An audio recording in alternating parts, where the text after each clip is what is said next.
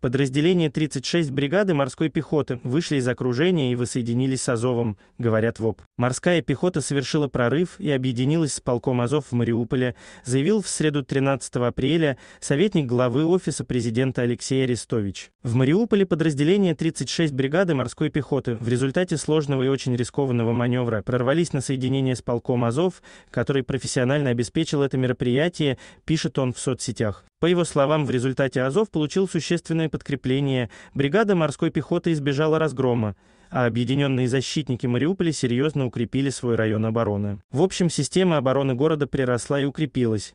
Вот что бывает, когда офицеры не теряют голову, а твердо сохраняют управление войсками. Давайте и мы не терять.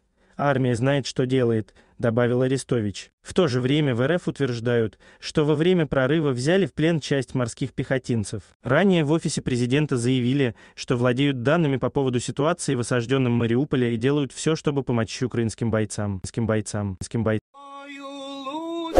Спасибо за просмотр. Мы стараемся сообщать в первые же минуты события. Поставь лайк и подпишись, если тебе нравится то, что мы делаем.